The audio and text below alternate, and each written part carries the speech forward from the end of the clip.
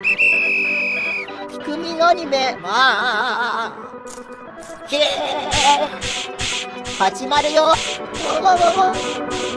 オリマーに持ち上げられた時白ピクミンは歓喜した他のピクミンと自分を比べていつも引け目を感じていたからだ。やっと自分もオリマーの役に立つことができる白ピクミンは期待で胸が膨らんだ。だがオリマーはとんでもない暴挙に出た。なんと白ピクミンを後ろに投げ飛ばしたのである。優しいお話の始まり始まり。絶対に死ぬな。お前は絶対に死ぬな。なん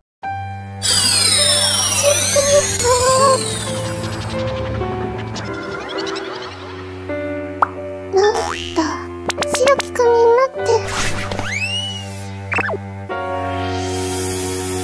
何か探してさよなら白ピクミン元気でな。